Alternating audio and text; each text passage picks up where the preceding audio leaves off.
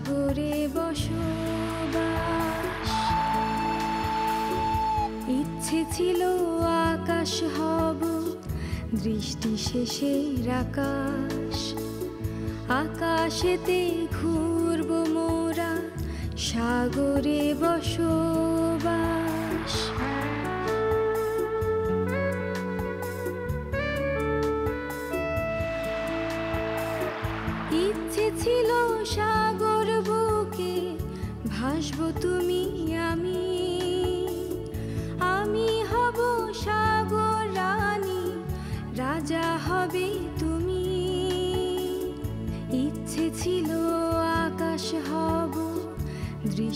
দৃষ্টি শেষের আকাশ আকাশিতে ঘুরব মোরা সাগরে বসবাস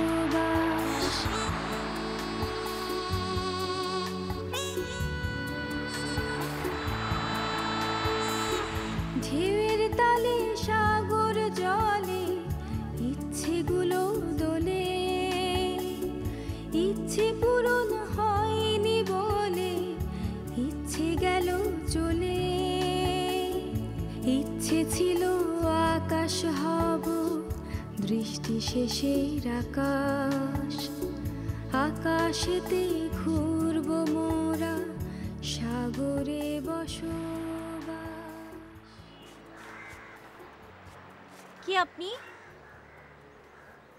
আমি লুৎফার। আপনাদের এই জায়গাটা খুব ভালো লাগল তাই ইজেল নিয়ে বসে গেলাম। সরি অনুমতি না নিয়েই। না না ঠিক আছে।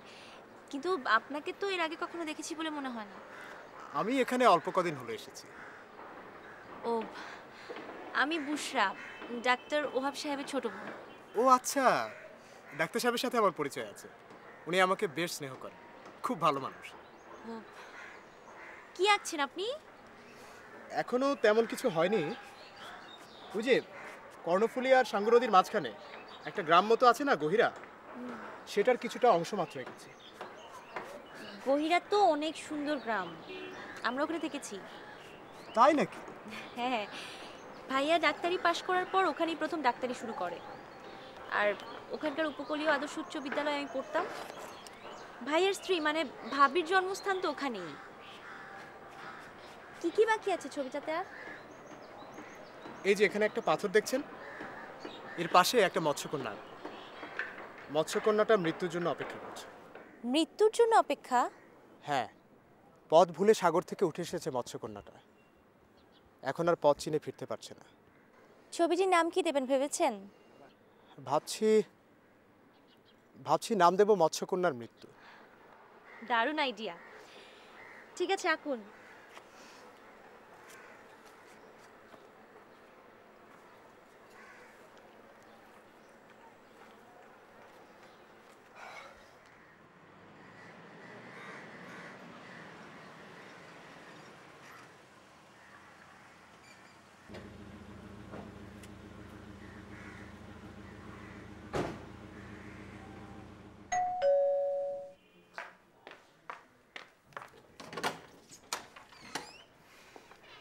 আনহার এসে পৌঁছেছে কিনা কোনো খবর পেয়েছিস?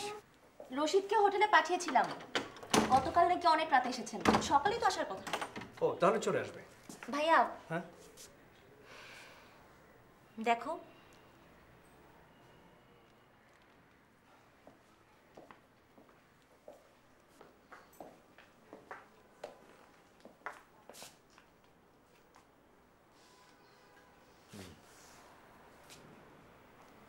বাসায় নেই। না সকালে যে হাঁটতে বেরিয়েছে এখনও ফেরেনি। বাবা! বাবা? সাজানোটা কেমন হয়েছে? সাজানোটা তো খুব সুন্দর হয়েছে। কিন্তু এভাবে সাজিয়ে কি সারাদিন রেখে দিবি? কেন বাবা? অসুবিধা কি? না মানে বলছিলাম কি যে একটা কীভাবে যে বলি? আচ্ছা আমি দেখছি।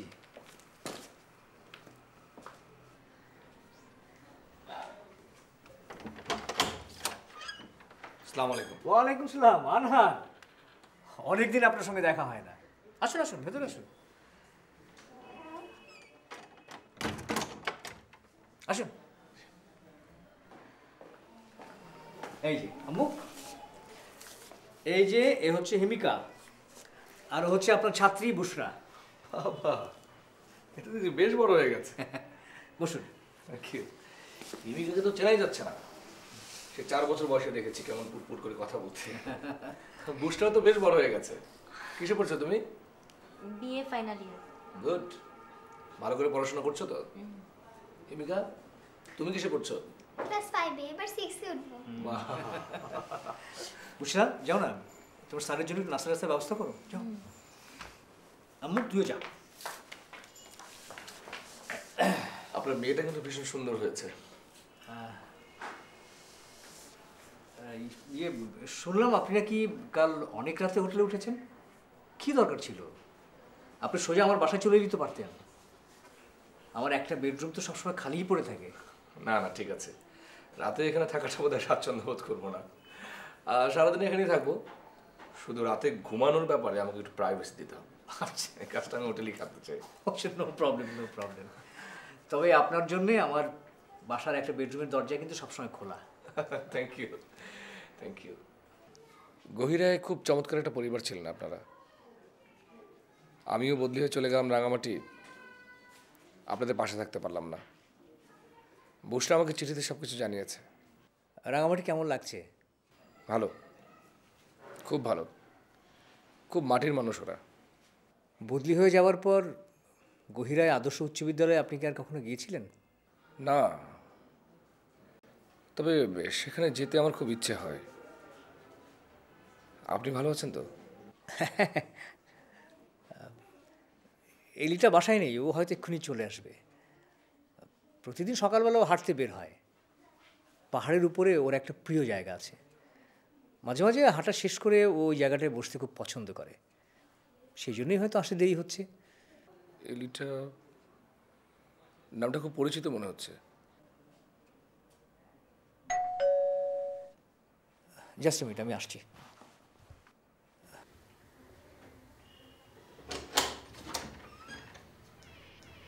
এই তো আমাদের শশা করা কন্যা এসে গেছে। লেডি ফ্রম দ্য সি দেখো কে এসছে।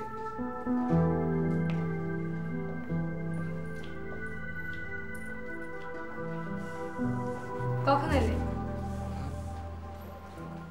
এই তো মিনিট পনেরো। কেমন আছো?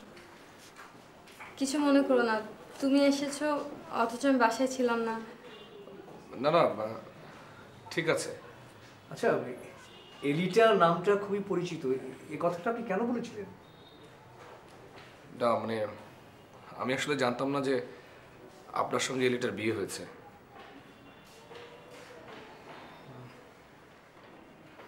মর্নিং ওয়াক কেমন হলো? ফ্রেশ লাগছে? এখানকার বাতাস কখনো ফ্রেশ থাকে নাকি? এটা তো একটা বদ্ধ জায়গা।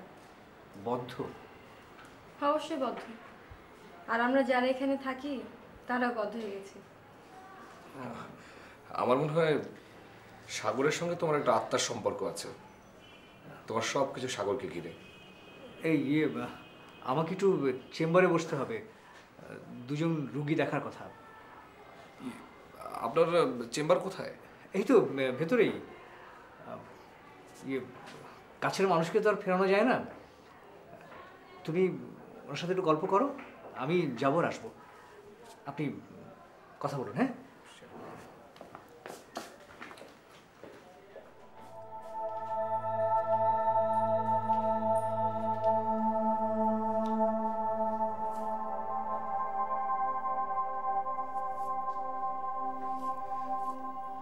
খুব অবাক হচ্ছে না? বাইরে গিয়ে বসি। এসো।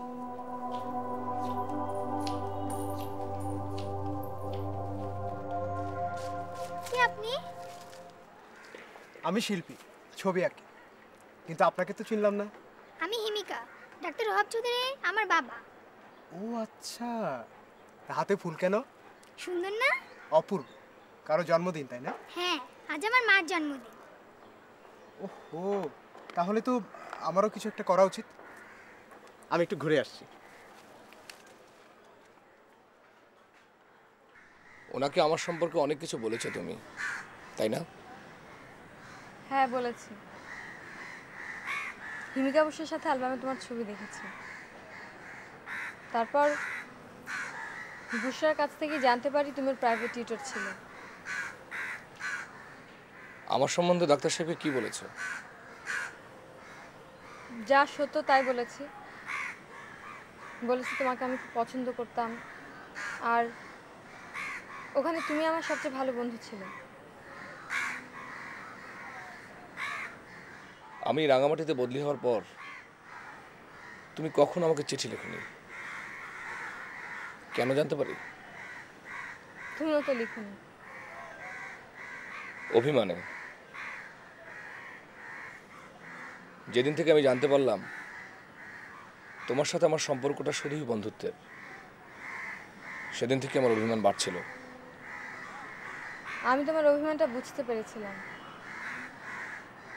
আমি জানতাম, তুমি আমাকে যেভাবে চেয়েছিলে, তার থেকে অন্যভাবে তুমি আমাকে কখনো কল্পনা করতে পারবে না আর তাই চিঠি লিখে তোমার সাথে সম্পর্কটা দীর্ঘ করে তোমার কষ্টটা বাড়াতে চাইনি।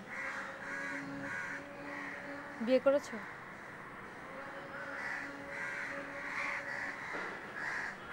না।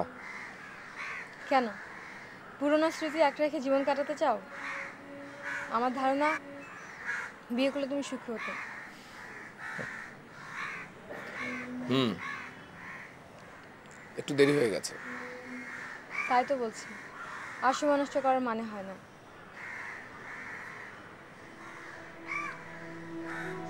আনহার আজ তোমাকে আমি একটা কথা বলব যা আমি কখনো কাউকে বলিনি।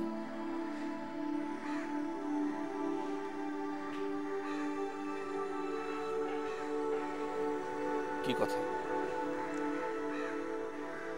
গহিরাই তোমার সাথে আমার দিনগুলোতে যখন আমি বুঝতে পারছিলাম তুমি আমার কাছ থেকে বন্ধুত্বের চেয়ে আরও কিছু প্রত্যাশা করো। তখন কিন্তু তুমি জানো না আমার জীবনে একটা সাংঘাতিক ঘটনা ঘটে গেছে। এখন শুনলে তুমি অবাক হবে। তখন আমি একজনের প্রেমে হাবুডুবু খাচ্ছি। সেই তখন? হ্যাঁ। অসম্ভব। নিশ্চয়ই তোমার সময়ের কোনো ভুল হচ্ছে। কারণ ডাক্তার সাহেবের সাথে তখন তোমার পরিচয় হওয়ার কথা না। আমি ওর কথা বলছি না।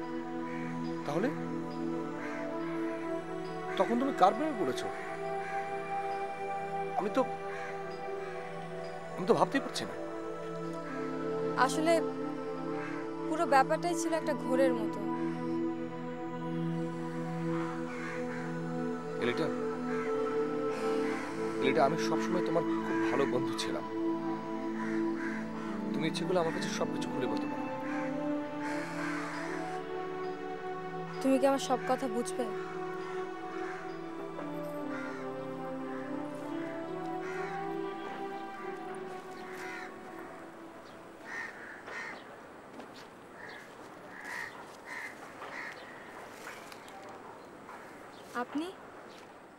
আমি লুৎফর রহমান।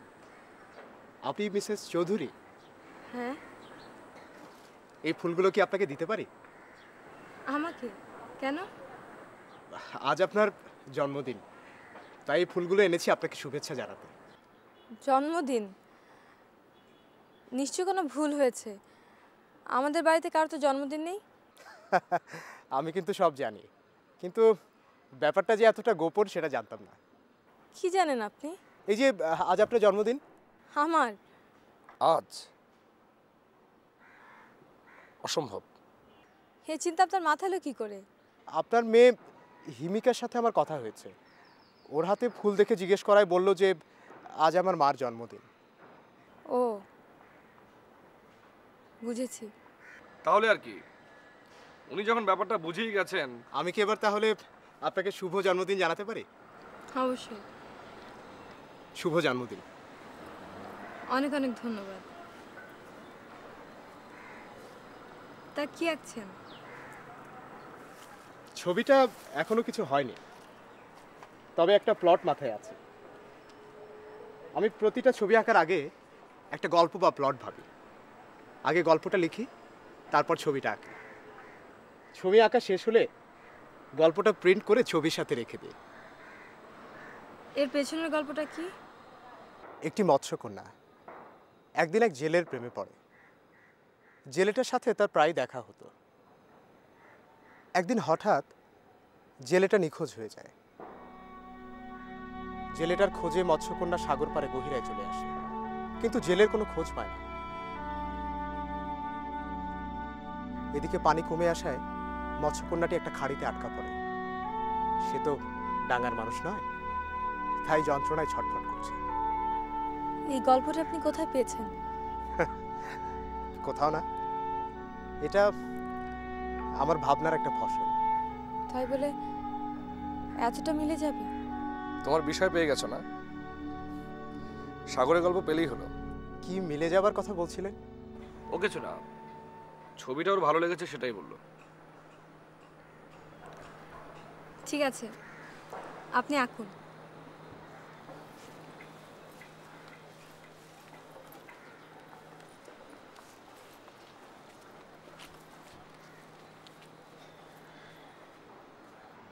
ছবিটা তোমাকে ভীষণ আপসেট করেছে তাই না?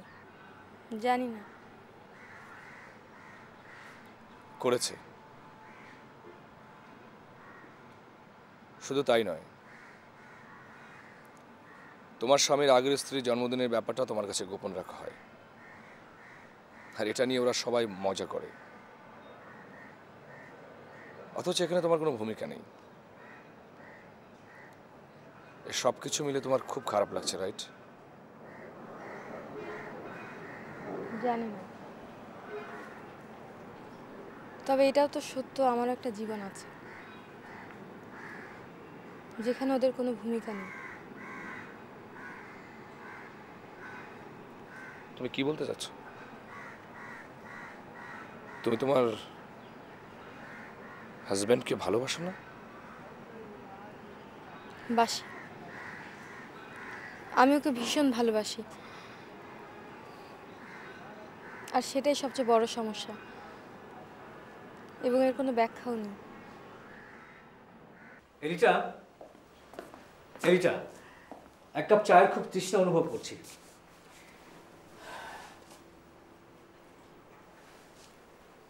তোমার হাতের এই ফুলগুলো তোমাকে কে দিয়েছে? লুৎফর একজন পেইন্টার ও লুৎফুরের সাথে তোমার পরিচয় হয়েছে? হ্যাঁ। ফুলগুলো দিয়ে আমাকে জন্মদিনের শুভেচ্ছা জানিয়েছে। লোকটা আসলে একটা গাধা। ও ভেবেছে ওনার জন্মদিন। দেখো এলিটা আচ্ছা ব্যাপারটা নিয়ে তুমি এত অসুস্থ বোধ করছ কেন? এরকম তো হতেই পারে না। এগুলো আমি ফুলদানিতে রেখে দিচ্ছি।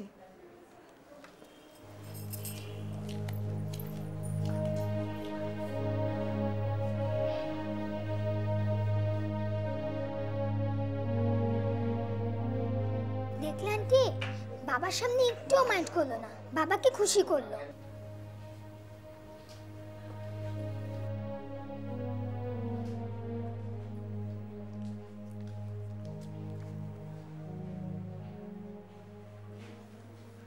বাবা তুমি কি লুৎফর আঙ্কেলকে চেনো? হ্যাঁ? ওই যে ছবি আঁকে লুৎফর আঙ্কেল। হ্যাঁ।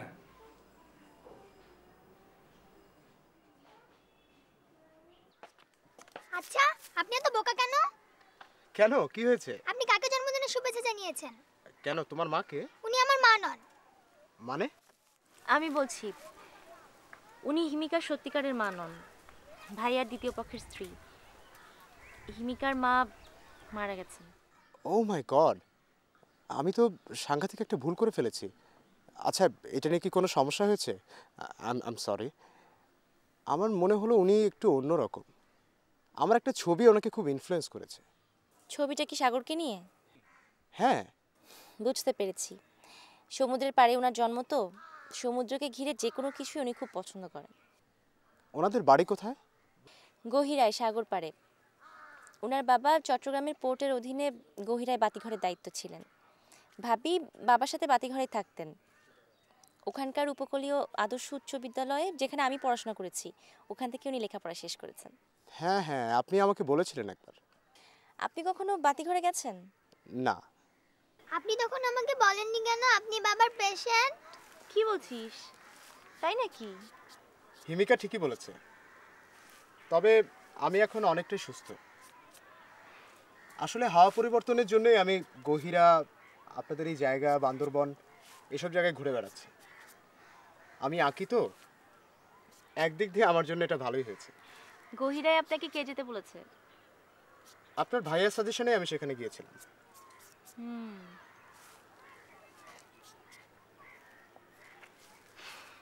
আচ্ছা আপনি সব সময় তো কষ্টের ছবি আঁকেন কেন? আনন্দের ছবি আঁকতে পারেন না?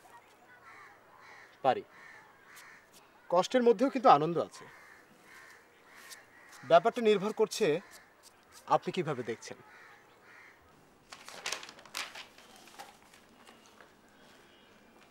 কদিন থেকে আমি বেশ বুঝতে পারছি সামথিং ইজ রং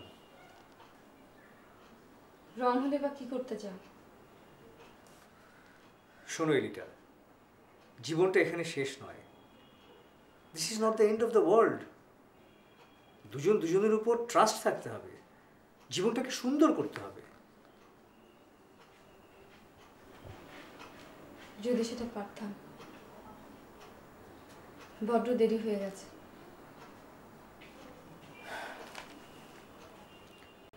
আমি বুঝতে পারছি তুমি কি বলতে চাইছো। কারও দ্বিতীয় স্ত্রী হওয়ার জন্য তোমার জন্ম হয়নি এলিটা। এসব কথা কেন আসছে? কারণ ওরা জন্মদিনের ব্যাপারটা তোমার কাছ থেকে লুকিয়ে রেখেছিল। তুমি ভাবছ ওদের দলের হয়ে কাজটা আমি করেছি। আসলেও তাই। কোনো মানুষের পক্ষে তার অতীতকে ভুলে যাওয়া সম্ভব নয়। আমার পক্ষে তো নয় আমি জানি। আমার চেয়ে কেউ তা বেশি জানে না। তবুও বলব তুমি ভুল করছ। তুমি ভাবছ হিমিকার মা এখনও বেঁচে আছে। আমাদের মাঝে অদৃশ্যভাবে বর্তমান। ভাবছ আমার মন দুই ভাগে ভাগ হয়ে আছে। যার অর্ধেকটা হিমিকার মার আর বাকিটা তোমার। এই চিন্তাই তোমাকে কুড়ে কুড়ে খাচ্ছে। আরে শিওর হ্যাঁ যেমন ধরো এই জায়গাটা যেখানে আমরা থাকি তোমার পছন্দ নয়। তুমি মনে করো এখানকার পরিবেশ তোমাকে চারদিক থেকে চেপে ধরেছে। এখানকার আকাশটা বড্ড ছোট আলো বাতাসের বড়ই অভাব। ঠিকই ধরেছ। গরম কি শীত? সবসময় সাগরের জন্য আমার প্রাণটা আইঠাই করে। আমি জানি। আর তাই আমি তোমাকে তোমার আপন বাসভূমে ফিরিয়ে নিয়ে যাব ভাবছি। মানে? কোথায়? অন্য কোনোখানে যেখানে সাগর আছে? অসম্ভব। তুমি এখানে ছাড়া আর কোথাও সুখ হতে পারবে না। সেটা নিয়ে তোমাকে ভাবতে হবে না। আমি তোমাকে ছাড়া সুখী হতে চাই না। আমি তো এখানেই আছি। আছো কিন্তু থেকেও নেই। আমরা এখান থেকে দূরে কোথাও চলে যাচ্ছি এটাই ফাইনাল কিন্তু এতে সব সমস্যার সমাধান হবে? তোমার মন শান্তি পাবে? আমি তোমাকে ফিরে পাবো। আমার সন্দেহ আছে। তোমাকে আমার অনেক কথা বলার আছে। বলো আমি শুনছি। আমি চাই না তুমি কষ্ট পাও।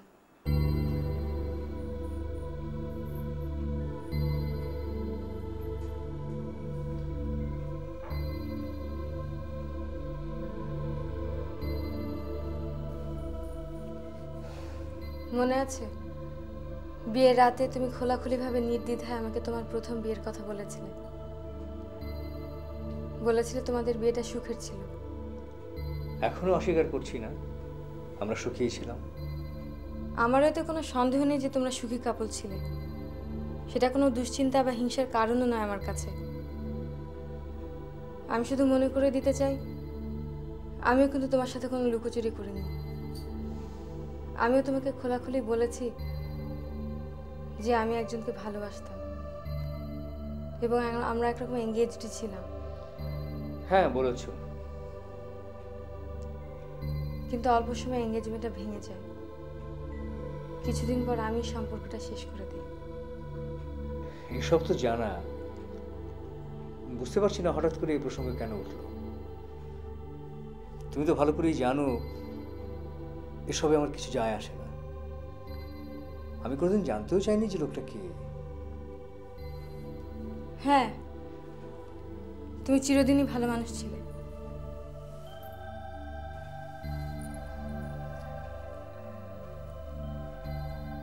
কিন্তু লোকটা যে কে ছিল তা অনুমান করা কঠিন নয়। কঠিন নয়। তুমি ভাবছ লোকটা আনহার?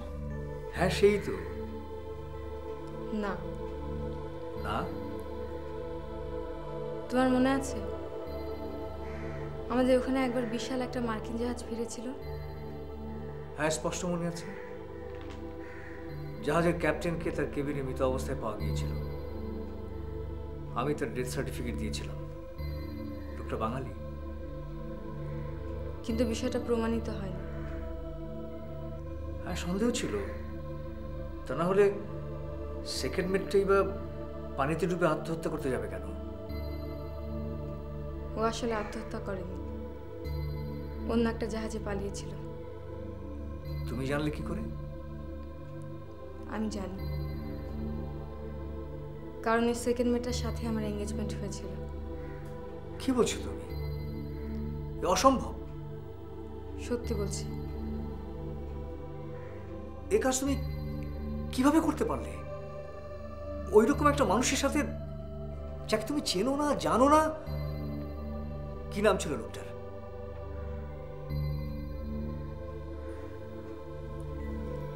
আমাকে নাম বলেছে ফাহিম।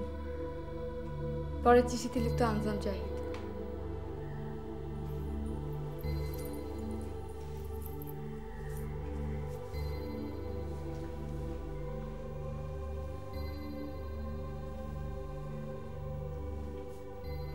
দেশ বলেছিল বাংলাদেশ আর ভারতের সীমান্তে। নাম বলেনি। ছোটবেলায় কেটেছে চট্টগ্রামে। অল্প বয়সে সাগরে পাড়ি জমে। এরপর থেকে সাগরে সাগরে কেটেছে জীবন। ওর সাথে আমার বেশিরভাগ সময় আলাপ হতো সাগর নিয়ে। সাগরের ঝড়, তার শান্ত রূপ। ঝকমকে সূর্যের আলোয় ঝলসে ওঠা সাগর। আমরা গল্প করতাম তিমি মাছ আর ডলফিন নিয়ে। কথা হতো সিগাল, শঙ্খচিল সিল মাছকে নিয়ে। আর ও যখন এসব গল্প করতো, তখন মনে হতো সাগরের ওইসব প্রাণী আর পাখির সাথে কোথায় যেন ওর একটা মিল আছে। আমিও যেন কোথায় ওদের সাথে আমার একটা মিল খুঁজে পেতাম আর সেই জন্যই ওর সঙ্গে তোমার এঙ্গেজমেন্টটা হলো। বলেছিল আমার সাথে ওর এঙ্গেজমেন্টটা হবারই ছিল। হবারই ছিল? তোমার নিজের কোনো মতামত ছিল না? ওর কাছে থাকলে আমার নিজের ইচ্ছে বলে কিছু থাকতো না। ও একদিন জাহাজ থেকে নেমে বাতি ঘর দেখতে এসেছিল। আর তখনই ওর সাথে আমার পরিচয় হয়। এরপর অনেকবার ওর সাথে আমার দেখা হয়েছে। সাথে যেদিন আমার পরিচয় হলো তার দশ পনেরো দিন পরে ক্যাপ্টেনের ওই ঘটনাটা ঘটল। ওকে পালাতে হলো। তারপর? একদিন খুব ভোরবেলা। তখন আলো ফোটেনি। আমি ওর কাছ থেকে একটা চিঠি পেলাম। লিখেছে আমাকে তখনই যেতে হবে ওর সাথে দেখা করতে। সাঙ্গু নদীর মোহনার ধারে ছোট্ট একটা দ্বীপের মতো আছে না? তুমি তো চেনো জায়গাটা। হ্যাঁ চিনি। ও লিখেছিল চিঠি পাওয়া মাত্র যেন চলে আসি। তুমি গেলে? হ্যাঁ গেলাম। আমি নিজেকে আটকে রাখতে পারিনি। ও বলল ওকে পালাতে হবে। আর তাই আমার কাছ থেকে বিদায় নিতে চায়। এরপর পকেট থেকে একটা চাবি রিং বের করল। তারপর আঙুলের আংটিটা খুললো। আমার হাতের আংটিটাও খুলে নিল। আংটি দুটো ওই চাবি রিংয়ে ঢোকালো। তারপর বলল আমাদের দুজনকে বিয়ে করতে হবে সাগরকে সাক্ষী করে। বিয়ে? হ্যাঁ। তারপর সর্বশক্তি দিয়ে আংটি দুটো সহ চাবি রিংটা দূরে সাগরের বুকে ছুঁড়ে মারলো। বলল আমাদের এঙ্গেজমেন্টটা হয়ে গেল। তুমি এটা মেনে নিলে? নিলাম। কারণ ওই সময় মনে হয়েছিল ওটাই ঠিক কাজ। এর কিছুক্ষণ পরই ও চলে গেল। যাবার পর? আমি যেন নিজেকে ফিরে পেলাম। বুঝতে পারলাম পুরো ব্যাপারটাই ছিল পাগলামি। ওর সাথে তোমার আর যোগাযোগ হয়েছিল? হ্যাঁ। ও চিঠি লিখেছিল। প্রথম চিঠিটা লিখেছিল আমেরিকায় চলে যাচ্ছে। ঠিকানা দিয়ে বলেছিল আমাকে চিঠি দিতে। দিয়েছিলে? হ্যাঁ প্রায় সাথে সাথে। আমি ওকে জানিয়েছিলাম আমাদের সম্পর্ক শেষ। ওর আমাকে ভুলে যাওয়া উচিত। ও উত্তর দিয়েছিল? হ্যাঁ। লিখেছিল এসব কথা সে কখনো মানবে না। খুব স্পষ্ট বড় বড় অক্ষরে লিখেছিল আমি যেন অপেক্ষায় থাকি। ও তোমাকে মুক্তি দিতে চায়নি? না। একেবারেই না। আমি জানতাম ও আমার কথা শুনবে না একই উত্তর পাঠাবে। আর তাই চিঠি লেখাই বন্ধ করে দিলাম। ও চিঠি লেখেনি? লিখেছে। একবার ক্যালিফোর্নিয়া থেকে একবার চীন থেকে। শেষ চিঠিটা লিখেছিল অস্ট্রেলিয়া থেকে। এরপর আর কোনো যোগাযোগ হয়নি। তোমার উপরে ওই লোকটার একটা অস্বাভাবিক প্রভাব ছিল। হয়তো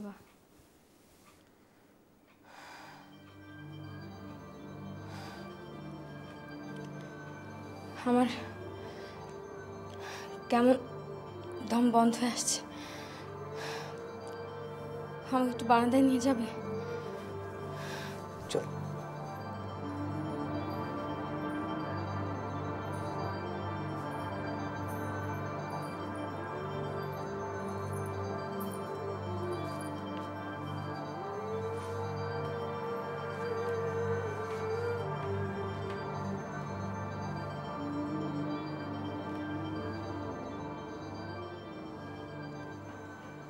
এখন ওসব নিয়ে ভাববার কিচ্ছু নেই।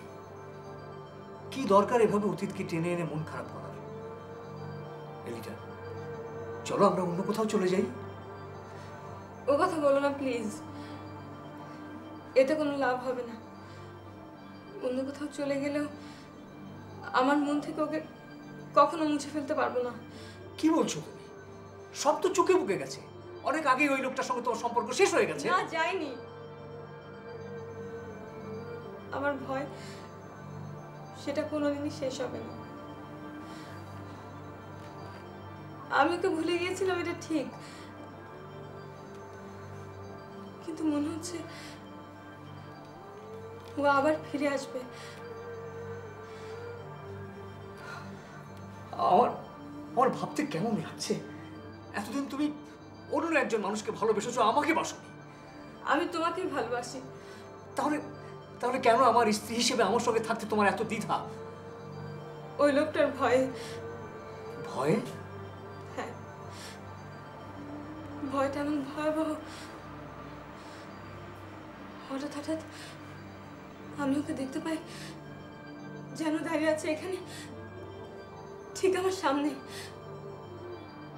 কখনো আমার দিকে সরাসরি তাকায় না শুধু চুপচাপ দাঁড়িয়ে থাকে। দেখতে কেমন? ছয় বছর আগে বাতিঘরে যেমন দেখেছিলাম। আমাকে কি যেন একটা ধীরে ধীরে চারদিক থেকে চেপে ধরছে।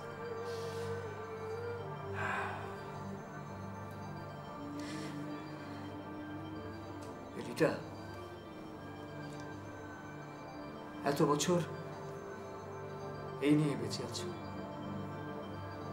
নিজে নিজে কষ্ট পাচ্ছ। অথচ আমাকে কিছুই বলনি। পারিনি। বলতে পারিনি। আজ বলতে বাধ্য হলাম।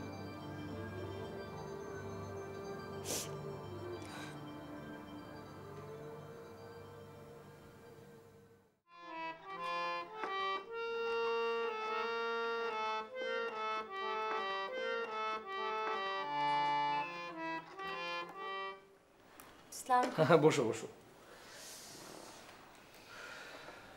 তোমার ভাবি কোথায়? ভাবি ও যে সকালে হাঁটতে বেরিয়েছে এখনও ফেরেনি। পাহাড়ের উপরে ভাবির একটা খুব প্রিয় জায়গা আছে। মনে হয় সেখানেই বসে আছে। তা রেয়াজ কি নিয়মিত করছ?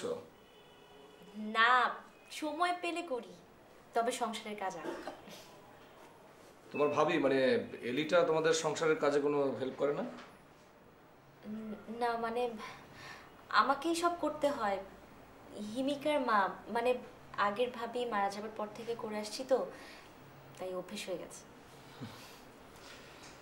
তা তুমি ভবিষ্যৎ নিয়ে কিছু ভাবছ না? আমার আবার ভবিষ্যৎ। আমাকে নিয়ে ভাববার সময় ভাইয়া নেই। ভাইয়ার যা ভাবনা তা ভাবিকে নিয়েই। দেখতেই তো পাচ্ছেন ভাই আর ভাবি তাদের জগৎ নিয়েই আছে। অবশ্য আমার আগের ভাবি ভাইয়ার জন্য যতটা করতো এরিটা ভাবি ততটা করে না। বলা যায় কেয়ারই করে না। আমি বুঝতে পারছি তুমি কি বলতে চাচ্ছো। বেচারা ভাইয়া আপনি হয়তো খেয়াল করেছেন ভাইয়া অনেক দিক থেকে বেশ দুর্বল। বেশিরভাগ সময়ই কোনো কাজ সময় মতো করতে পারে না। স্ত্রীর কাছ থেকে যে সাহায্য পাবে তাও না। অবশ্য এর জন্য কিন্তু ভাইয়াই দায়ী। এ কথা বলছো কেন? ভাইয়া সবাইকে খুশি দেখতে চায়।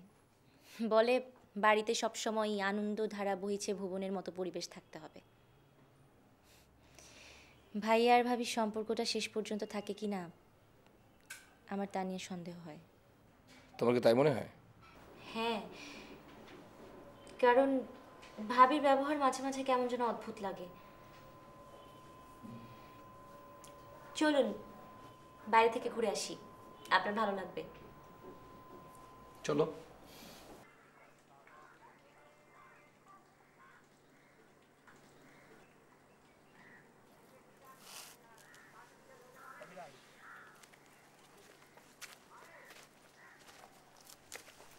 কোথায় যাচ্ছ? বসবে না? না এখন আর বলব না। তোমাকে আজ ফ্রেশ লাগছে। আজ সকাল থেকে নিজেকে খুব হালকা লাগছে। মনে হচ্ছে সব বিপদ কেটে গিয়ে বিশাল সাগরে আমি একটা ছোট্ট ডিঙ্গি নিয়ে রোদ ঝলমলে আলোতে ভাসছি। সাগরে কখনো বেড়াতে গেছো তুমি? না যাইনি। সারা জীবন সাগর পাড়ে বাস করলাম কিন্তু সাগর পাড়ে দিলাম না। এটাই তো আইরনি আমাদের জীবনে। এটাই তো স্বাভাবিক। মানুষ তো বেশিরভাগ সময় মাটিতেই বাস করে। কিন্তু শুরু থেকে যদি মানুষ পানির উপর বাস করত কিংবা সাগরের ভেতরে বসবাস করত তাহলে আমার ধারণা এখনকার চেয়ে আর উন্নত হতে পারত আর উদার হতে পারত আরও সুখী হতে পারত। তুমি কি তাই বিশ্বাস করো? হ্যাঁ আমি তো প্রায় ওহাবকে এই কথাটা বলি। উনি কি বলেন? ও মনে করে আমি ঠিকই বলছি। অবশ্য কে জানে হতেও পারে কিন্তু যা হবার তা তো হয়েই গেছে। সমুদ্রের প্রাণী না হয়ে হয়েছে মাটির প্রাণী। আর এখন সাগরে ফেরার সব পথ আমাদের বন্ধ। ঠিক বলেছ। মানুষের সব দুঃখ দুর্দশার মূলে রয়েছে এই জিনিসটা। কিন্তু ভাবি আমার তো মনে হয় না মাটিতে ঘরবাড়ি বানিয়ে মানুষ কোনো দুর্দশার মধ্যে আছে। বরং বলা যায় বেশিরভাগ মানুষই মহা আনন্দে মহা সুখে বসবাস করছে। বিশ্বাস করি না। আমাদের আনন্দটা ক্ষণস্থায়ী। মানুষের সব আনন্দের উপর নেমে আসে এক কালো ছায়া। ওসব কালো ছায়ার গল্প বাদ দাও। একটু আগে না বললে তোমার বেশ হালকা লাগছে? চলো বসি একটু গল্প করি। না ওর ভাইয়ার আসার সময় বোধহয় হয়ে এলো। তোমরা বসো আমি বরং যাই।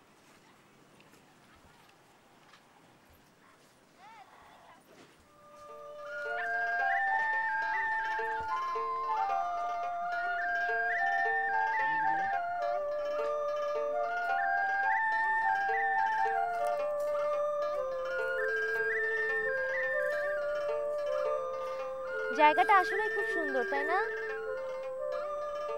সত্যি।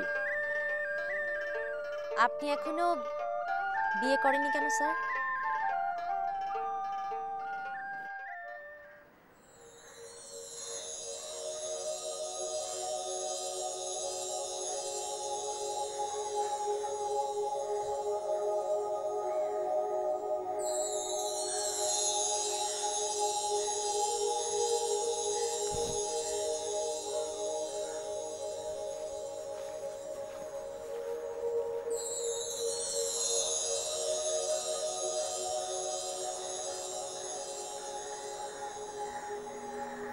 আছো এলিটা হ্যাঁ আছি।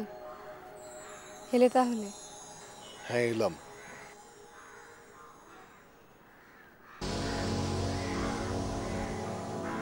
কে আপনি? কাকে চান? তুমি তো জানো আমি কাকে চাই। জানো না?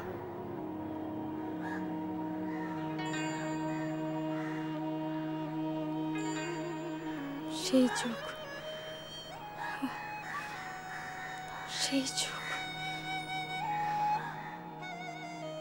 চিনতে পারলে তাহলে। আমি কিন্তু তোমাকে দেখেই চিনেছি। আমি তোমাকে নিতে এসেছি এলিটা কিন্তু তুমি তো জানো আমি বিবাহিতা। হ্যাঁ জানি। তুমি আমার সঙ্গে যাবে না এলিটা আমার পক্ষে যাওয়া সম্ভব নয়। সেই সাহস আমার নেই।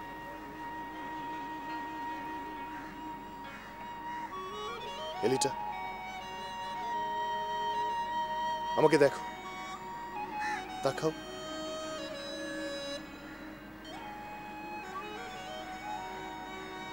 এলিটা আমার এলিটা।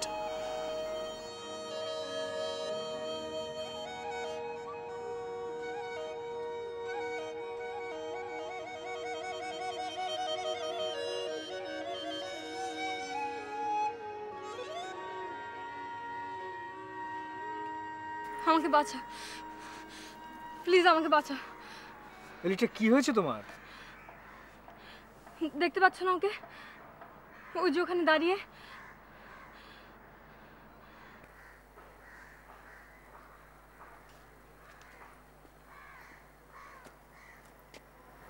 কাকে চাই?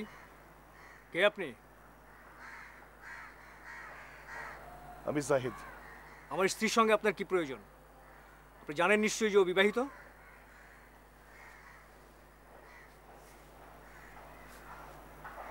হ্যাঁ জানি। কিন্তু আমরা যে একমত হয়ে আমাদের আংটিগুলোকে একসঙ্গে বেঁধেছিলাম সেটা তো বিয়ে ছিল না আপনার তো অনেক সাহস। আপনার কোনো অধিকার নেই আমার স্ত্রীর সঙ্গে দেখা করার। আমি এলিটাকে বলেছিলাম আমি ফিরে আসব। প্লিজ প্লিজ আপনি ওকে নাম ধরে ডাকবেন না। সমাজে একটা নিয়ম নীতি আছে। আমি সেটা জানি। কিন্তু ওর উপর আমার দাবি তো প্রথম। দাবি? ভুলে যাবেন না। আমরা একমত হয়ে আমাদের আংটিগুলোকে একসঙ্গে বেঁধে বিবাহ বন্ধনে আবদ্ধ হয়েছিলাম। কয়েক বছর আগের একটা ছেলে মানুষকে যদি আপনি সত্যি বলে ধরে নেন তাহলে আমি বলব আপনি স্বাভাবিক মানুষ নন। হ্যাঁ আপনার দৃষ্টিভঙ্গি থেকে দেখতে গেলে কথাটা তাই দাঁড়ায়। তাহলে কি করতে চান আপনি? আপনি নিশ্চয়ই ওকে আমার কাছ থেকে জোর করে নিয়ে যাবেন না? ভুলে যাবেন না। আপনার কোনো দলিল দস্তখত নেই। আর আপনার ওইসব ছেলে মানুষই আইনে টিকবে না। আমি সেটা জানি। আর সেজন্যই এলিটাকে তার নিজের ইচ্ছায় আমার কাছে আসতে হবে। আমার নিজের ইচ্ছায়। আপনি পাগল হয়ে গেছেন। আপনি চলে যান এখান থেকে।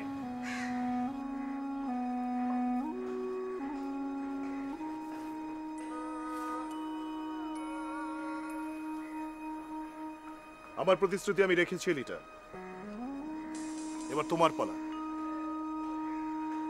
ভাবার জন্য তোমাকে আমি কাল পর্যন্ত সময় দিলাম। ভাবা ভাবাভাবির কিছু নেই। আপনি আসুন। কাল তোমার সঙ্গে আমার আবার দেখা হবে। যদি আমার সঙ্গে তুমি সাগরে যেতে সিদ্ধান্ত নাও মানে যদি যেতে রাজি হও তাহলে যাওয়ার প্রস্তুতি নিয়ে এসো।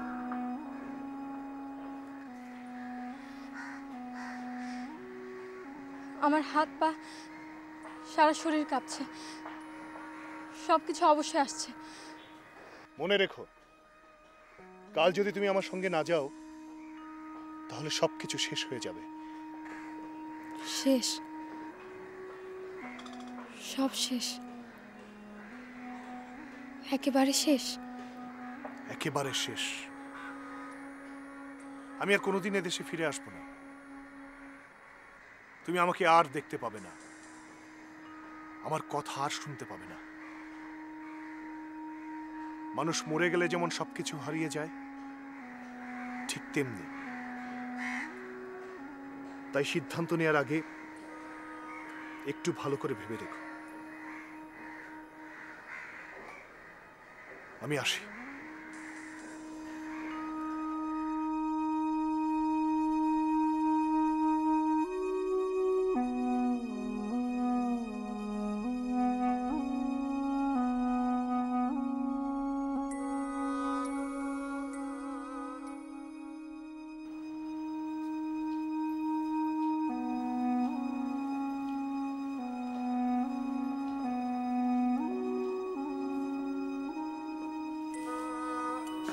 বলল আমার নিজের ইচ্ছায় যেতে হবে। বুঝতে পারছ? ওর সাথে আমাকে যেতে হবে নিজ ইচ্ছায়। তুমি দুশ্চিন্তা করো না তো। ও চলে গেছে আর কখনো আসবে না। কি করে বুঝলে? ও ঠিকই আসবে। আসুক। আসলেই যে ওর সঙ্গে দেখা করতে হবে এমন তো কোনো কথা নেই। তুমি ওকে ঠেকাতে পারবে না। পুরো ব্যাপারটা তুমি আমার উপর ছেড়ে দাও সব ঠিক হয়ে যাবে। কিছুই তো ঠেকানো যায়নি। ওর এখানে আসা জাহাজে চড়ে সাগরে যাওয়া। কাল রাতে ওর এখানে আসা কেউ ঠেকাতে পারবে না। তুমি ভেবো না তো একটা উপায় বের হবেই। আর যদি আসেও ক্যাপ্টেনকে খুন করার দায়ে আমি ওর বিচার করব। না না এসব করা ঠিক হবে না। ক্যাপ্টেনের খুনের ব্যাপারে আমি কিছু জানি না। মানে? ও তো নিজ মুখে তোমার কাছে সব কিছু স্বীকার করেছে। তবুও তুমি বললেও আমি অস্বীকার করব। আসলে জেলখানায় পচে মরার জীবন ওর নয়। ওর জীবন হলো সাগরের মতো। মুক্ত, স্বাধীন। এলিটা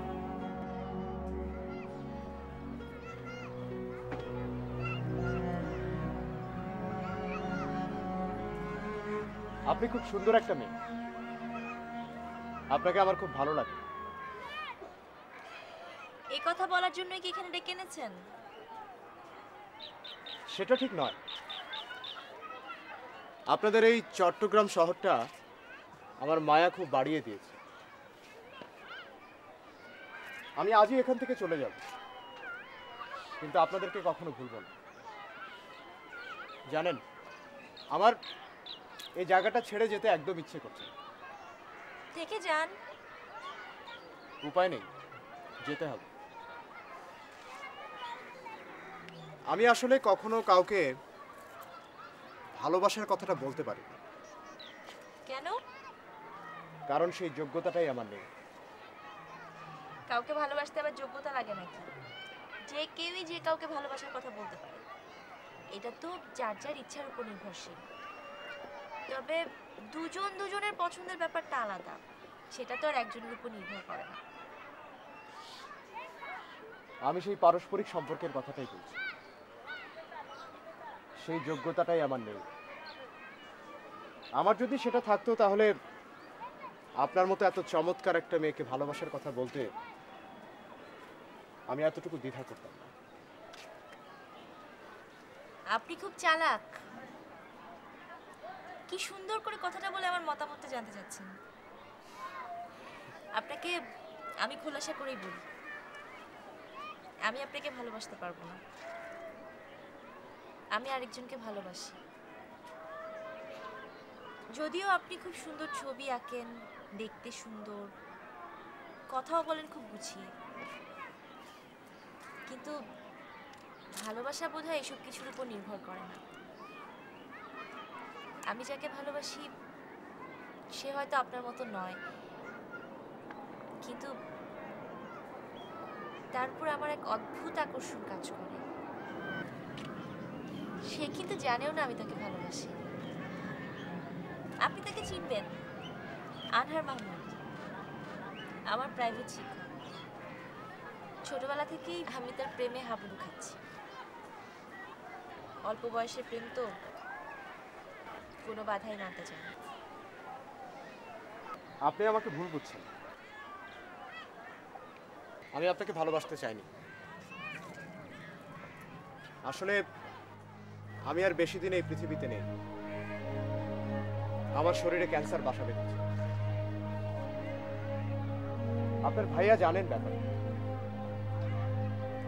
আমার বাবার অঢেল টাকা। কিন্তু দেখেন আজ সেসব আজ কোনো কাজেই আসছে না।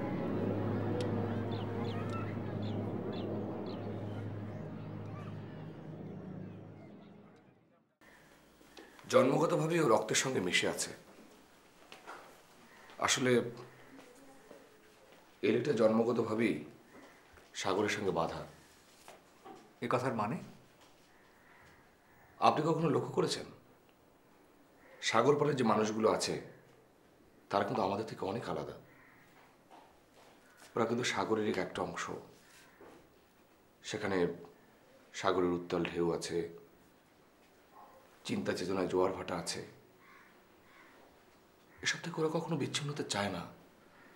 কিংবা ওরা বিচ্ছিন্ন হতে পারে না। হুম। এসব আমার আগেই ভাবা উচিত ছিল। ওকে ওই খোলা আকাশের পার থেকে সরিয়ে আনা আমার একদম অপরাধ হয়েছে। সত্যি বলতে কি, ব্যাপারটা আমি জানতাম, কিন্তু আমার নিজের স্বার্থের কথা চিন্তা করে আমি পাত্তা দিইনি। আমি ওর চেয়ে বুসরা আর হিমিকার কথাই ভেবেছি বেশি। আচ্ছা একটা কথা বলতে পারেন। এত বছর পর হঠাৎ চিঠিতে আপনি আমাকে কেন স্মরণ করলেন? আমি ভেবেছিলাম এলিটা একসময় আপনার খুব ঘনিষ্ঠ বন্ধু ছিল। সম্ভবত এখনও গোপনে সে আপনাকে পছন্দ করে। ভেবেছিলাম আবার আপনার সঙ্গে দেখা হলে হয়তো কোনো অবসর মুহূর্তে পুরনো স্মৃতি মনে পড়লে ওর ভালো লাগবে। হুম। এখন বুঝতে পারছি।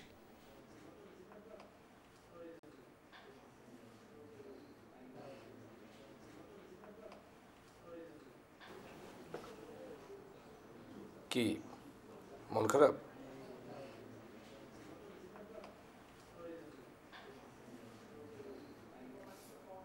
জানেন ওই যে ছেলেটা ছবি আঁকে ওর না ক্যান্সার তাই নাকি? আর কেমন দেখেন? আমাদের একটু বুঝতেও দেয়নি। আর চলে যাবার সময় বলে গেল হিমিকাকে কি ব্যাপারটা জানানো উচিত? না না ও বাচ্চা মেয়ে। ও শুনলে কষ্ট পাবে। আমি অনেক ভেবে দেখেছি।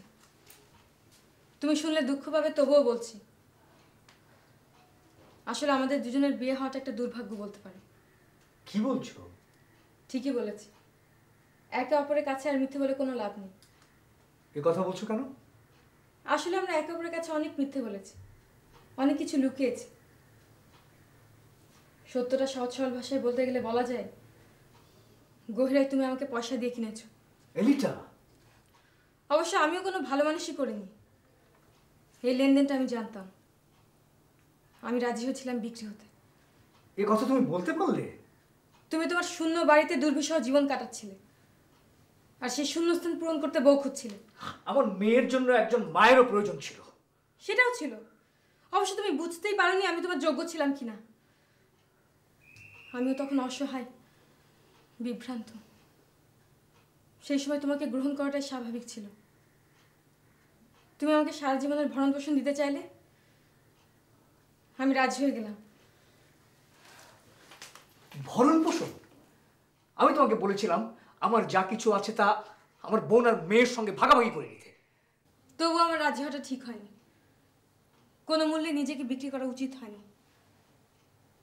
এর চেয়ে স্বাধীনভাবে ছোটোখাটো কাজ করে দারিদ্র্যের জীবনযাপন করাটাও ভালো ছিল। সেটা হতো আমার নিজ ইচ্ছায় নিজ স্বাধীনতায়। এতগুলো বছর যে আমরা দুজন একসাথে থাকলাম তার কি কোনো মূল্যই নেই তোমার কাছে? থাকবে না কেন? তুমি আমাকে না চাইতে অনেক দিয়েছ। কিন্তু সেই কথাটা থেকেই যায় আমি আমার নিজের স্বাধীন ইচ্ছায় তোমার সাথে জীবন কাটাতে আসিনি। নিজের স্বাধীন ইচ্ছায় আসনি? না তোমার কাছে আমি নিজের স্বাধীন ইচ্ছায় আসিনি। এই কথাটা তুমি সন্ধ্যায় বলছো? হ্যাঁ বলেছি। এই মুহূর্তে শব্দগুলো আমার জীবনে নতুনভাবে অর্থবহ হচ্ছে। শব্দগুলো স্পষ্ট হচ্ছে। কি স্পষ্ট হচ্ছে? আমাদের দাম্পত্য জীবন সত্যিকার বিবাহ বন্ধনের উপর গড়ে ওঠেনি। তাহলে তাহলে এটা আমাদের বিবাহিত জীবন নয়? আগেও ছিল না কখনো ছিল না। প্রথম থেকে বিয়েটা কাজ করেনি। তা নাহলে আমি আমার সন্তানকে হারাবো কেন? সত্যিকার বিয়ে একটাই হতে পারতো। কোনটা? ওই লোকটার সাথে। আমি আমি কিছুই বুঝতে পারছি না। এলিটা তুমি কি বলছো? তুমি আমার একটা কথা মানবে? আমরা একে অপরের কাছে মিথ্যা বলা ভান করা বন্ধ করি?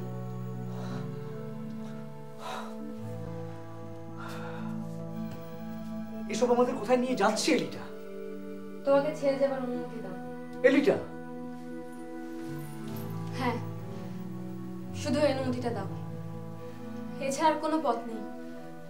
ডিভোর্স আইন মতে আনুষ্ঠানিক বিবাহ বিচ্ছেদ।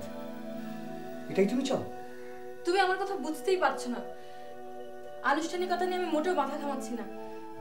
এসব কোনো গুরুত্বপূর্ণ বিষয় নয় আমার কাছে। আমি যা চাই তাহলে দুজন দুজনকে নিজের স্বাধীন ইচ্ছায় মুক্তি দেয়া। আমাদের বিয়ের পবিত্র এগ্রিমেন্টটা ভেঙে ফেলি। কিন্তু তারপর? ভবিষ্যৎ তার নিজের পথ নিজেই করে তুমি আমাকে মুক্তি দাও। আমার পূর্ণ স্বাধীনতা আমাকে ফিরিয়ে দাও।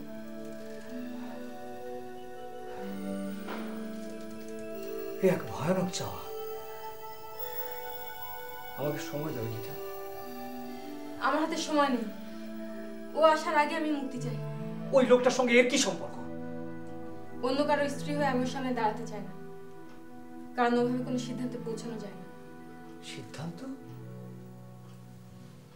হ্যাঁ।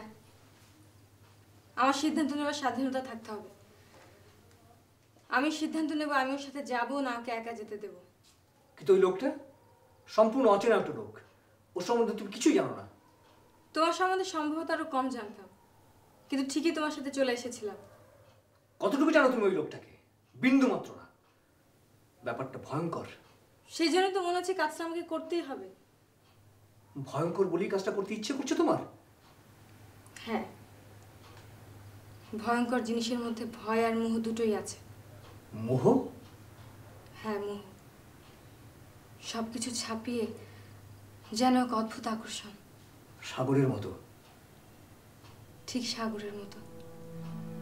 সাগর যেমন ভয়ঙ্কর তেমনি মোহময়। এলিটা এলিটা তোমার মধ্যে ভয়ানক কিছু একটা আছে। আমি আমি কোনোদিনও তোমাকে চিনিনি।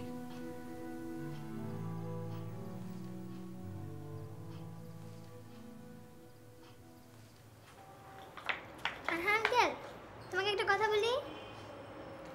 বলো। আন্টিকে বলবে না তো?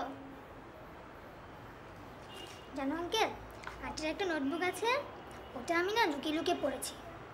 ওখানে লেখা আছে আন্টি না তোমাকে খুব ভালোবাসে। আর আন্টি তোমাকে ছাড়া আর কাউকে বিয়ে করবে না। আর যদি অন্য কারোর সাথে বিয়ে হয় তাহলে আন্টি না ওই পাহাড় থেকে ঝাঁপিয়ে পড়বে। সত্যি বলছো? হ্যাঁ। কিন্তু লুকিয়ে লুকিয়ে তোমার নোটবুকটা পড়া অন্যায় হয়েছে। এটা একদম উচিত হয়নি। কারণ এটা হচ্ছে চুরি করার চাইতেও জঘন্য অপরাধ। আঙ্কেল আমি তো এটা আগে জানতাম না।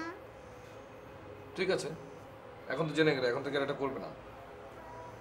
আঙ্কেল তুমি আন্টিকে এটা বলবে না তো? বলব। কারণ এটা না বললে এই অপরাধটা তুমি বারবার করে যাবে। আঙ্কেল আমি না মার কাছে খুব একটা যাই না। আন্টির কাছে কোনো কষ্ট পেলে আমার খুব খারাপ লাগে। তুমি আমার সামনে আন্টিকে এই কথাটা বলো না প্লিজ। আমি আর কখনো লুকিয়ে লুকিয়ে নোটবুক করব না। ঠিক আছে। আর মাত্র দশ ঘণ্টা। এক একটা প্রহর, আমার কাছে এক একটা যুগ মনে হচ্ছে। আমি আবারও বলছি, আমার মন যদি ওকে বেছে নেয়, সেখানে বাধা দেবার তোমার কোনো অধিকার নেই। না, সেটা হতে পারে না। তুমি ভুল পথে অগ্রসর হচ্ছ। আজ সারাদিন আমি তোমার পাশে পাশেই থাকব। স্বামী হিসেবে তোমার নিরাপত্তা দেওয়ার অধিকার এখনও আমার আছে। নিরাপত্তা? আমাকে নিরাপত্তা দিতে হবে কেন? কেউ তো বাইরে থেকে আমাকে হুমকি দিচ্ছে না?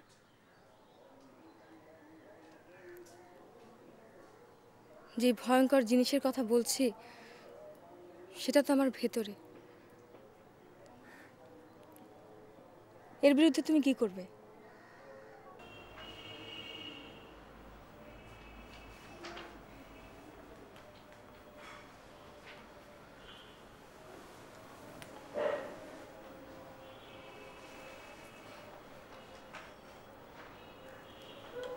কি ব্যাপার? কি ভাবছ? লুৎফরের ব্যাপারটা নিয়ে এখনও মন খারাপ হয়ে আছে? সেটার জন্য খারাপ লাগছে। কিন্তু উনি তো আমাদের পরিবারের তেমন কেউ নন। হঠাৎ করেই আমাদের পরিবারের সাথে তার পরিচয়। আমি ভাবছি অন্য কিছু।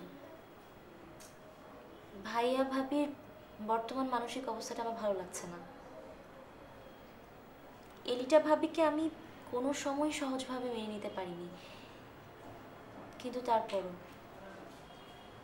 যদি একটা কিছু ঘটে যায়, সেই শূন্যস্থানটা আমাদের পরিবারের জন্য সুখকর হবে না।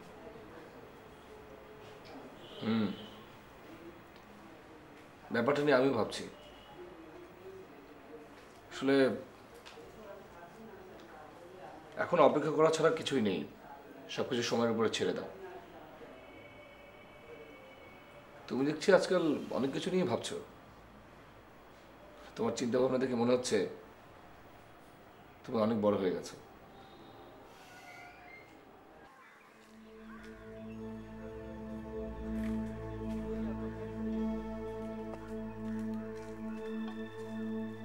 এলিটা তুমি ওই লোকটাকে খুব ভালোবাসো না? ভালোবাসি। কি জানি বলতে পারব না। আমি জানি ওই লোকটা আমার কাছে এক ভয়ঙ্কর আকর্ষণ। দেখো, এখানে আমার কোনো পিছু টান নেই। তোমার ওই বাড়িতে এমন কিছু নেই যে আমাকে আটকে রাখতে পারে। তোমার ওই বাড়িতে আমার কোনো শেকড়ের টান নেই। হিমিকা, বুসরা, ওদের কারও মনে আমার স্থান নেই। ওরা কখনোই আমাকে মেনে নেয়নি। আজ রাতে আমি যদি ওই লোকটার সাথে চলে যাই, আমার কাছে এবার একটা চাবি নেই কাউকে বুঝিয়ে দেবার। তোমার বাড়িতে আমি এতই শেকড়হীন।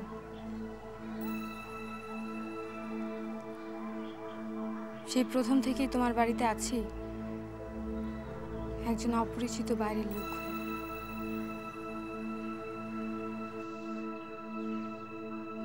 কিন্তু তুমি তো তা নিজেই চেয়েছিলে। না চাইনি। তুমি চেয়েছিলে আমি যেন কোনো কিছু বদলে না দিই। তাই সব কিছু যেমন ছিল তেমনি রেখে দিয়েছি। আমি তো ভেবেছিলাম সেটাই তোমার জন্য ভালো হবে। কেন কথা ঘোরাচ্ছ? আমার কথা তুমি ঠিকই বুঝতে পারছ। এই ভুলের মাসুল আমাদের দিতেই হবে। নিয়তি তার প্রতিশোধ নেবেই।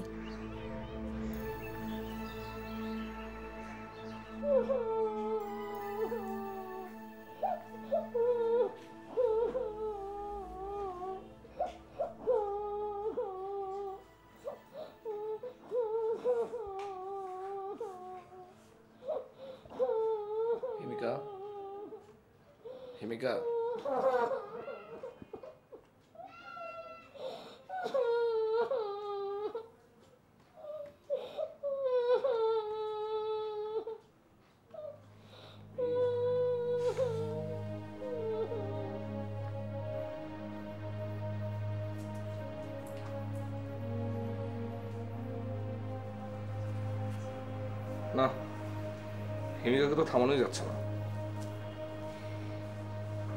ভাইয়া আমাকে বলল তোর ভাবি আজ রাতে কিছুদিনের জন্য গহিরায় যেতে পারে। এ কথাটাই আমি বিকেলবেলা হিমিকাকে বলেছিলাম। তারপর থেকে মুখটা গোমরা করে আছে সন্ধ্যার পর থেকে কেঁদেই চলেছে বলছেও না কেন।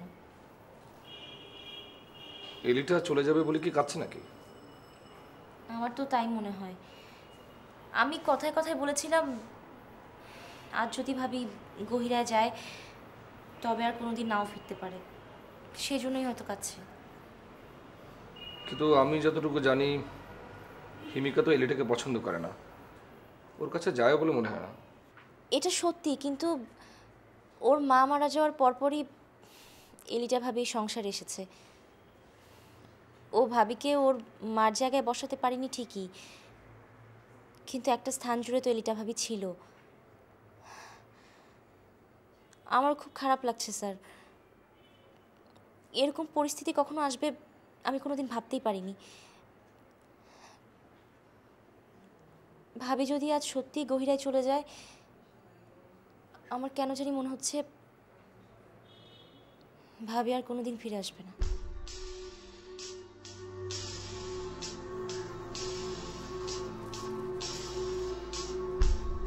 আমি এসেছি, এলিটা। তুমি কি যাবার জন্য প্রস্তুত? আপনি তো দেখতেই পাচ্ছেন ও প্রস্তুত নয়। আমি বাইরে যাওয়ার পোশাক কিংবা সুটকেসের কথা বলছি না জাহাজে ওসবের ব্যবস্থা করা কোনো ব্যাপারই না। এলিটা তুমি কি আমার সঙ্গে সাগরে যাওয়ার জন্য প্রস্তুত? তুমি কি নিজের ইচ্ছায় আমার সঙ্গে যেতে রাজি আছো? আমি সিদ্ধান্ত নিতে পারছি না। ব্যাপারটা তো সহজ নয়। সারা জীবনের সিদ্ধান্ত। আমার আর ফেরার পথ থাকবে না। একেবারেই না। আমার হাতে কিন্তু বেশি সময় নেই এলিটা। আমার স্ত্রী আপনার সঙ্গে যাবে না। ওর পক্ষ থেকে আমি আপনাকে সিদ্ধান্তটা জানিয়ে দিলাম। স্বামী হিসেবে ওর নিরাপত্তার দায়িত্ব আমার। কি বলেছি শুনেছেন? নিরাপত্তা। আপনি যদি এই মুহূর্তে এখান থেকে চলে না যান তাহলে আমি কি করব সেটা আপনি জানেন? কি করবেন আপনি? একজন ক্রিমিনাল হিসেবে আপনাকে অ্যারেস্ট করা। এক্ষুনি। আপনি জাহাজে ফিরে যাওয়ার আগেই আপনি যে একজন খুনি সেটা আমি জানি। তুমি এসব কি বলছো? আমি জানতাম আপনি এসব কথা বলবেন। সেজন্যই এটা নিয়ে এসেছি। না না ওকে গুলি করো না। আমাকে করো আমাকে। তুমি ভয় পেও না রিটা। আমি তোমাদের কাউকে গুলি করব না। তুমি জানো আমি প্রচণ্ড স্বাধীনভাবে বাঁচতে ভালোবাসি। ঠিক সেভাবে মরতেই চাই। এটা আমি নিয়ে এসেছি আমার জন্য। তোমাকে একটা কথা জানানো উচিত। ওর কথাটাও শোনা দরকার। আমি জানি তুমি আমাকে এখানে আটকে রাখতে পারো। সেই ক্ষমতা এবং অধিকার তোমার আছে। এতে কোনো সন্দেহ নেই যে তুমি সেটাই করবে। কিন্তু আমার একটা মন আছে। সেটার উপর তোমার কোনো হাত নেই। আমার মন, আমার ইচ্ছা, আমার ভালোবাসা এসবই অজানা অচেনার দিকে ছুটে যাবে। অথচ তুমি চাইছো আমাকে সেখান থেকে সরিয়ে রাখতে। আমি বুঝতে পারছি এলিটা, তুমি কি বলতে চাইছো। ঠিক আছে। আমি আর বাধা দেব না তোমাকে। আমাদের দুজনের দর কষাকষি এখানেই শেষ। তুমি সম্পূর্ণ মুক্ত, এলিটা। এখন তুমি তোমার পথ নিজেই খুঁজে নাও। সত্যি বলছো? সত্যি? যা বলছো তা তোমার মনের ভেতর থেকে বলছো? বলছি। যা বলতে খুব কষ্ট হচ্ছে। কিন্তু সত্যি বলছি তুমি মুক্ত স্বাধীন। যা ঘটবে তাকে তুমি মেনে নিতে পারবে? হ্যাঁ পারব। কারণ আমি তোমাকে সত্যি ভালোবাসি এলিটা। তোমার কাছে আমি এতই মূল্যবান। হ্যাঁ। এতদিনের দাম্পত্য জীবন তোমাকে আমার কাছে অমূল্য করেছে। অথচ অথচ আমি তা বুঝতে পারিনি। এতদিন তোমার মন অন্য জায়গায় পড়েছিল। এখন থেকে তোমার সিদ্ধান্ত একান্ত তোমার। আমার প্রবেশ নিষিদ্ধ। একান্ত আমার। আমার নিজের। তাহলে সবই তো বদলে গেল। তাহলে দেরি কেন? চলো।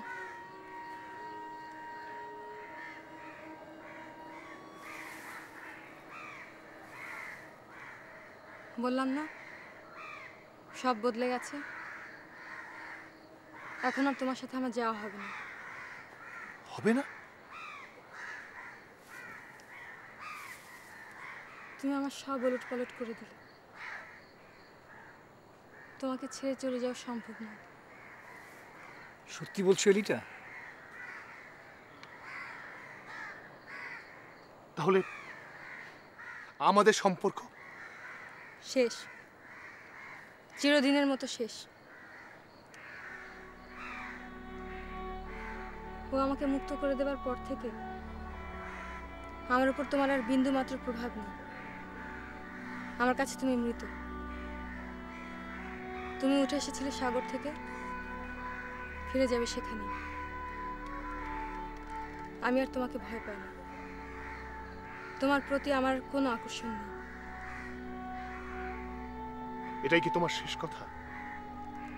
শেষ সিদ্ধান্ত? হ্যাঁ। এটাই আমার শেষ কথা শেষ সিদ্ধান্ত। একান্ত আমার স্বাধীন সিদ্ধান্ত।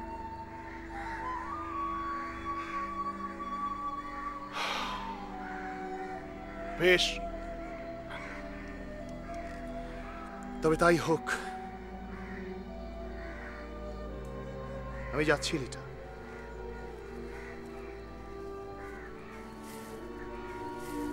তোমার সাথে আমার আর কোনোদিন দেখা হবে না। চিরদিনের জন্য বিদায়। বিদায়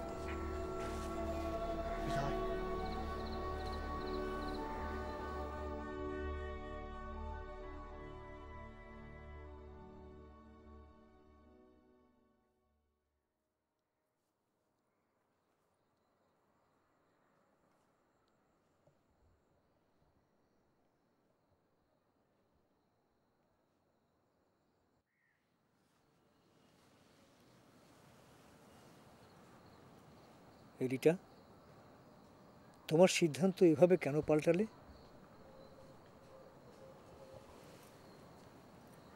পাল্টালাম। কারণ আমার নিজের সিদ্ধান্ত আমি নিজে নিতে পারলাম তাই।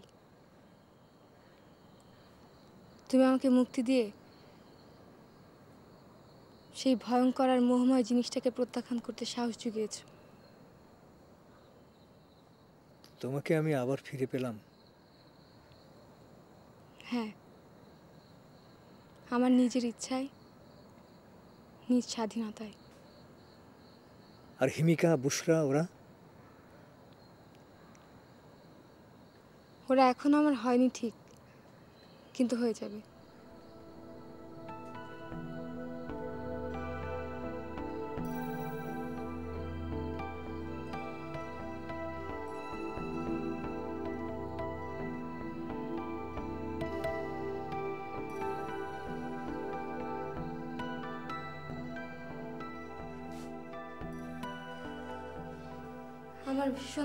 লাগছে। মনে হচ্ছে একটা বোঝা আমার মাথা থেকে নেমে গেছে। মুক্ত, স্বাধীনভাবে আমি আকাশে উঠছি। পুরো বাড়িটাকে আমার নতুন লাগছে। মনে হচ্ছে আজই আমার গৃহপ্রবেশ হলো। এলিটা এলিটা, আজ আমার কি ভালো লাগছে? আনন্দে আমার চিৎকার করতে ইচ্ছে করছে।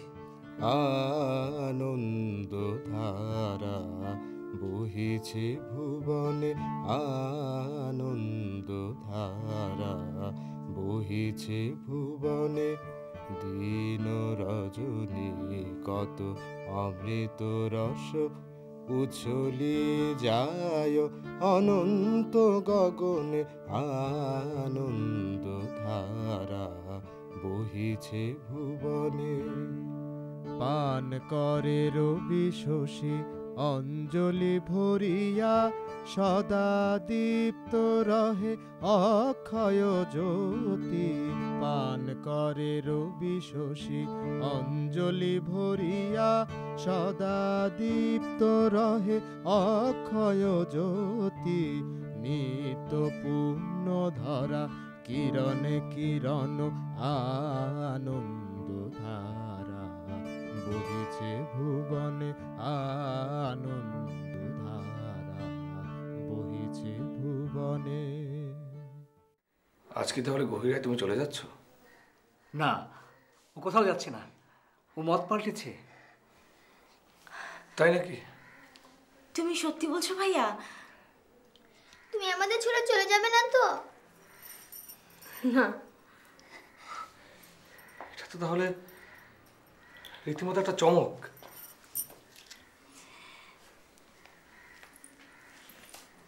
মনে আছে আনহার,